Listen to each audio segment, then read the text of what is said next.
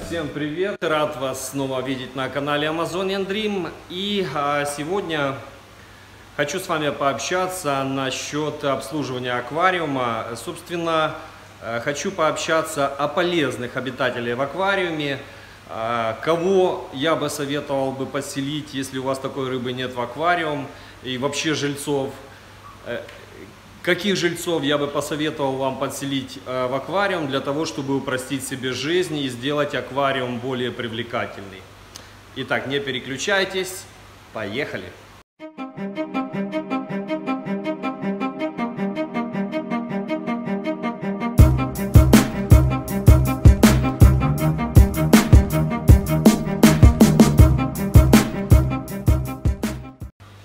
Итак, ребят, э, к сожалению, у меня окна засвечивают немного стекло, то есть э, снять вот так, чтобы вообще ничего не засвечивало аквариум, э, не получится. Но, э, значит, два или три дня назад, перед Новым годом, в общем, потерялся я, какой сегодня день. И, кстати, да, с Новым годом вас, друзья! Так вот, э, несколько дней назад я э, сделал капитальную уборочку в этом аквариуме. То есть, что я сделал? Я почистил покровные стекла и почистил передние и вот там вот боковое стекло. А, сделал я это для того, что у меня постоянно казалось, что у меня мутная вода в аквариуме, а всему виной по факту оказалось, что не в воде проблема, а проблема в том, что изрядно обросли, обросли стекла. И Э, открою вам небольшой секрет, ну либо не секрет даже, а тайну. Э, ребят, от момента запуска этого аквариума уже прошло добрых полгода, может даже и больше. Я ни разу туда не лазил, чтобы что-то там почистить, поправить и так далее. То есть все работало автономно, все работало само по себе. И, конечно же, да, я елозил. Вот у меня есть магнитик. Вот, э, елозил этим магнитиком по стеклу. Но, как оказалось, этот магнитик стирал только верхний шар налета, а основной налет все же оставался на стекле. И с каждой недели, и уже вот в последнее время рыбы практически не было видно. И это, кстати, я думаю, вам очень хорошо было заметно на прошлом видео. А, собственно, вот это вот и стала идеей для снятия сегодняшнего видеоролика, потому что хочу вам рассказать э, несколько лайфхаков и несколько нюансов, которые могут упростить вам жизнь как аквариумист. Ну вот, допустим, друзья, смотрите, а, вы поставили дома большой аквариум, ну, к примеру, на тонну, это уже достаточно большой аквариум, поставили себя э, аквариум на тонну, запустили рыбу. Неважно по населению, это несколько больших крупных рыб или много. Все зависит уже от э, вашей протоки и от сампа. Ну, в общем, все это вы сделали. Подключили протоку, ультрафиолетовый стерилизатор, э, поставили всевозможные модные наполнители, самп. В общем, все сделали по фэншую и по последнему писку моды аквариумного дела, скажем так. Все же рыбу приходится кормить вручную, и, собственно, убирать там стекла, да, сифонить дно и так далее. Что же нужно сделать для того, чтобы упростить себе жизнь и, скажем так, э, э, не сифонить дно, это раз, и, собственно, не чистить стекла, ну, по крайней мере, не чистить их там каждую неделю, а раз в месяц, либо раз в несколько месяцев. На самом деле все просто, ребята. Для того, чтобы обойти вот этот нюанс, все, что нужно сделать, это подселить в аквариум рыбу, которая ведет донный образ жизни. Ну, если речь идет о большом аквариуме с крупной рыбой, это, конечно же, какие-то большие эльсоны, либо банально это птереплит парчевый, ну, хотя бы в размере от 25 сантиметров, чтобы его не сожрали, либо тот же плекостомус, это из бюджетного варианта. Что даст вам подселение такой рыбы? Ну, во-первых, этот сом, он постоянно прячется. Если у вас есть какие-то коряги, камушки, декорации, он постоянно будет сидеть днем э, под ними. И все остатки корма, э, фекалии, которые накапливаются, он будет хвостом оттуда выметать. И, собственно, если у вас правильно организовано течение, то все это будет уходить в систему фильтрации. Либо внешний фильтр, либо в сам, ну, как-то так, да. Что же делать, если у вас э, изрядно обильно обрастают стекла? Вот у меня, например, напротив аквариума окна, три больших окна. И проблема этого аквариума в том, что стекла обрастают таким бурым налетом. И магнитный скребок э, не справ, ну, справляется ну, процентом на, я не знаю, там максимум 50. То есть все равно остаются, э, остается немного, и ты буквально за 2-3 дня оно все опять обрастает, а не, не будешь заглядать сюда месяц, все, рыбы просто тупо не видно. Что ж, ребята, эти самы, парчевые э, самы, то есть перегоплиты, тот же плекостомус, любой эльсом, э, он постоянно будет вам все это объедать. В общем, это относительно стекол и относительно э, сифонки дна. Ни в одном из своих аквариумов, ребята, я дно не убираю. Никогда. Вообще. Просто правильно организованное течение. И об этом я уже как-то говорил э, на канале. И, собственно, э, вот эти вот самы ларикариевые, как-то так они называются, в общем, не суть.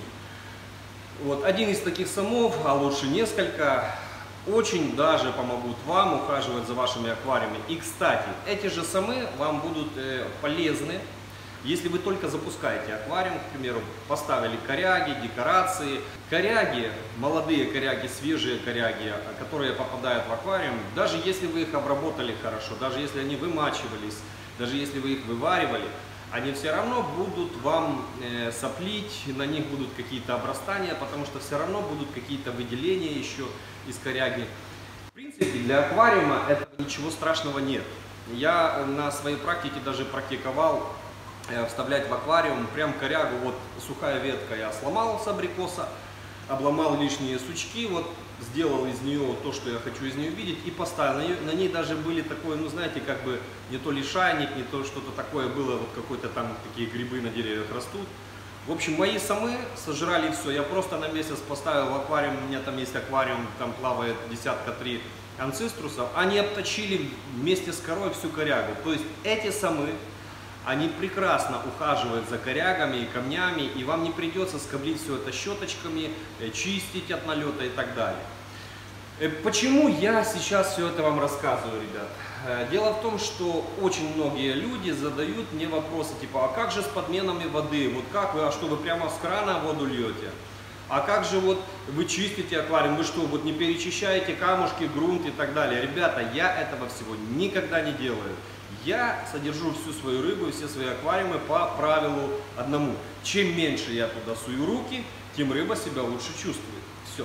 Для меня это как бы аксиома, и я стараюсь ее придерживать. Я любые свои аквариумы, когда вот, э, вот эти, которые у меня сейчас есть, и те, которые я буду строить в будущем, э, я все делаю по э, одному правилу. Как можно меньше времени на уход.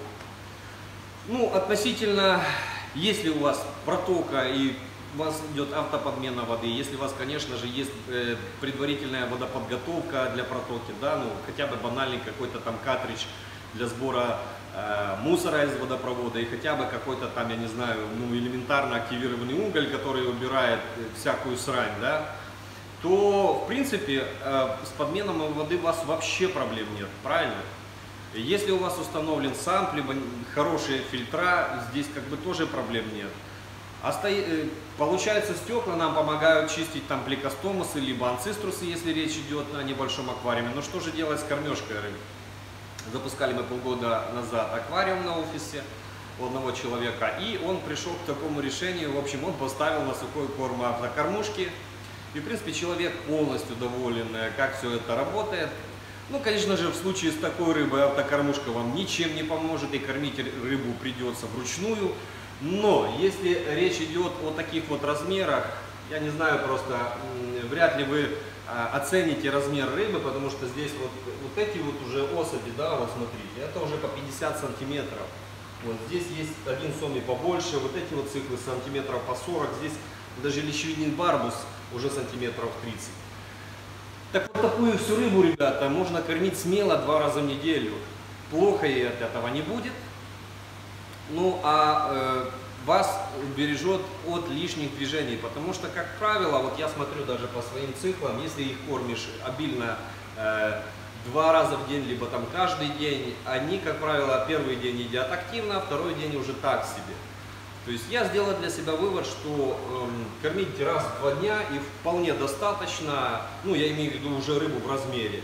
И в принципе как бы плохого в этом ничего нет. И я думаю покормить там 3-4 раза в неделю, э, 2-3-4 раза в неделю вашу рыбку никому не составит труда.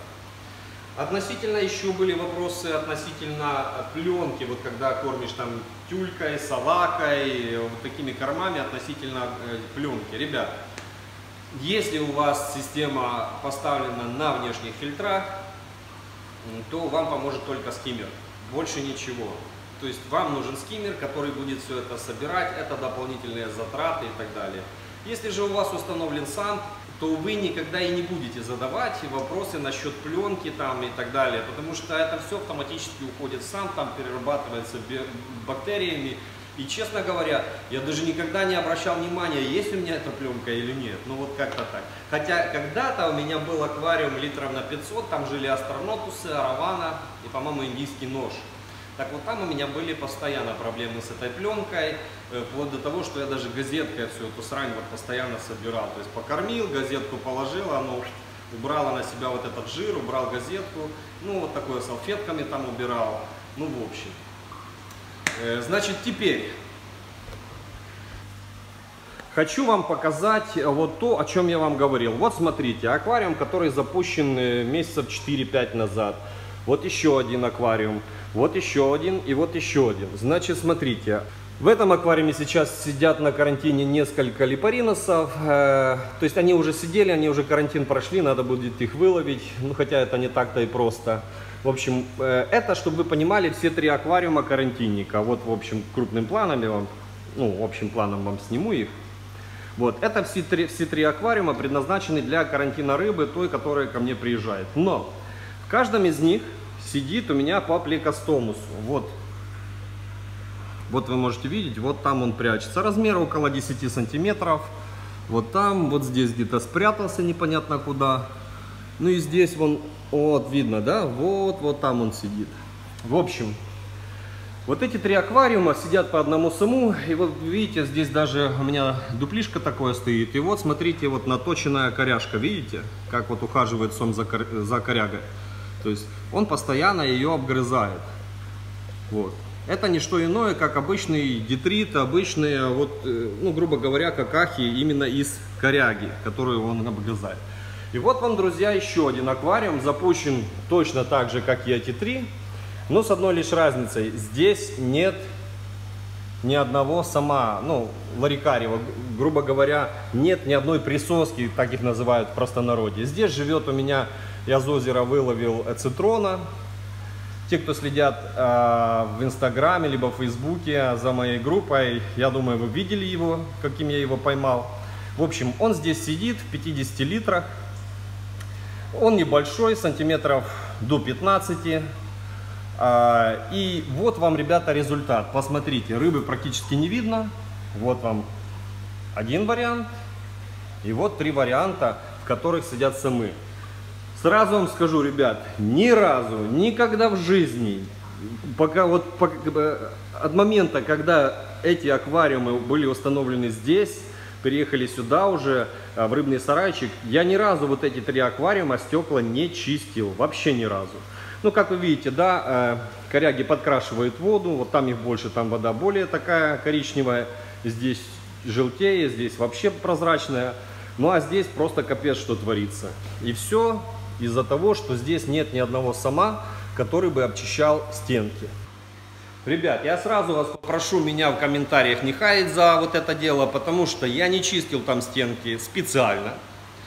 Как, в принципе, ну, здесь я тоже не чистил стенки, но, вы знаете, грязные стенки рыбы никоим образом не мешают, а э, мне как бы, ну, сами понимаете, если бы это был один аквариум, понятно, что я бы там возле него танцевал и так далее, но если этих аквариумов у меня много, то за каждым аквариумом, конечно же, не уследишь. И банально нет времени а постоянно ходить и чистить эти стекла и так далее. Поэтому я делаю все максимально для того, чтобы э, каждая система, каждый аквариум был максимально э, автономный. Есть такое слово в русском языке, автономность, да?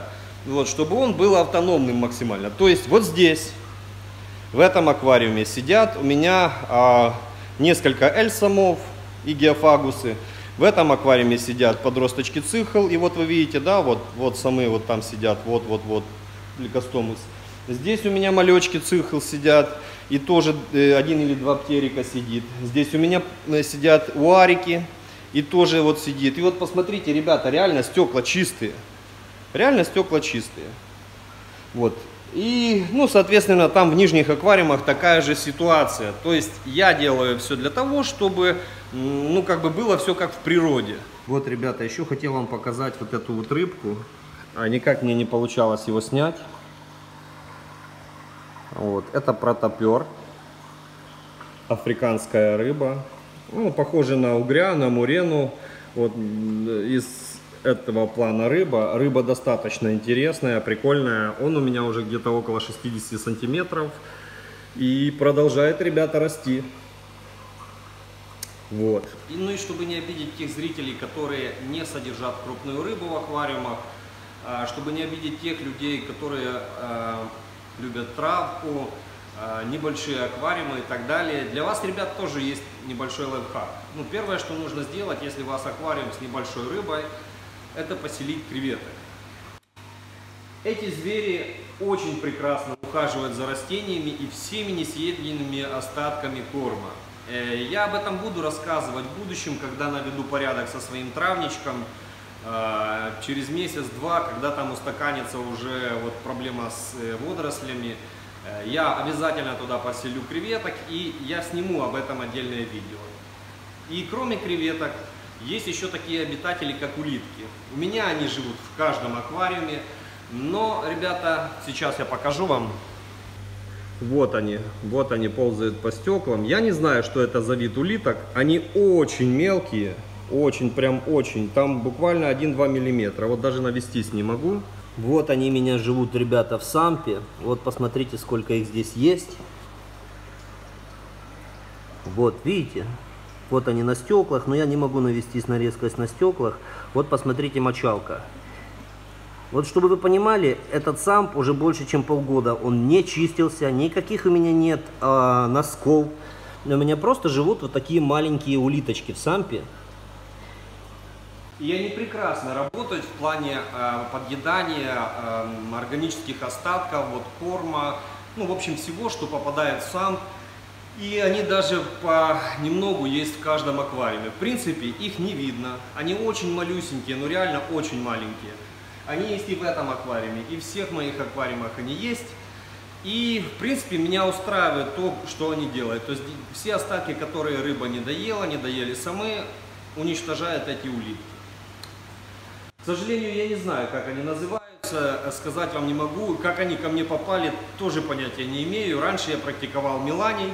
Сейчас я Милане всех вытащил оттуда из сампа, и остались у меня только вот такие маленькие улитки. Что ж, ребят, подведем итоги. А, для того, чтобы упростить себе жизнь, а, обязательно заведите себе каких-то плекосомов. То есть есть возможность а, держать крупную рыбу, либо там что-то из эльсомов, обязательно заводите их. Э, если нет, есть более бюджетные варианты, такие как из крупных, например, парчевый сом, этот же тиреоплит, э, либо пликостомус. Ну или э, те же ансиструсы. И, кстати, да, я вот забыл еще сказать, что в травниках очень хорошо работают атанциклусы, водорослиеды. Эти тоже прекрасно подбирают все остатки несъеденных кормов, все вот водоросли, не ухаживают за растениями и так далее. И водоросли почищают. Ну и, собственно, креветки и улитки. Это и есть то население аквариума, на которое, как правило, мы не всегда обращаем внимание, но оно должно быть в аквариуме, и оно должно помогать нам за аквариумом ухаживать. Потому что в природе все именно так и существует, ребята. Никто не лазит в озеро, и никто не, э, скажем так, не убирает оттуда дохлую рыбу. Есть падальщики, ну вот в той же Амазонке, например, есть а, падальщики какие? Есть э, пираньи. Они подъедают падаль, Следующий этап, э, это, кстати, и есть э, природный биобаланс, потому что э, рыбка покушала, покакала, эту сранцию пропилисосили самы, пропилисосили улитки, пропилисосили креветки. Потом все это дело переработали бактерии, и на выходе мы получили, опять же, нормальную чистую воду, и в которой рыба себя прекрасно чувствует. Чем больше вы будете пытаться создать стерильный аквариум, чем больше вы будете пытаться создать... какой-то биотоп, либо там дизайн в аквариуме с крупной рыбой, тем более вы себя будете разочаровывать, потому что э, вы знаете, э, крупная рыба, она сама себе дизайнер. То есть все камни она переставит все равно по-своему, коряги тоже. Ну разве что вы их прикрутите, там э, приклеите мощно, ну тогда другое дело. В общем, ребят, подытожили. а, Вкратце я вам все это рассказал. Будут вопросы, обязательно их задавайте. И ждите на днях а, видео о трехметровом аквариуме, в котором мы делали дизайн, в котором мы а, заселяли рыбу. В общем, ждите. Скоро будет новое видео. Всем пока, с наступающим Рождеством и до новых встреч, друзья. Пока.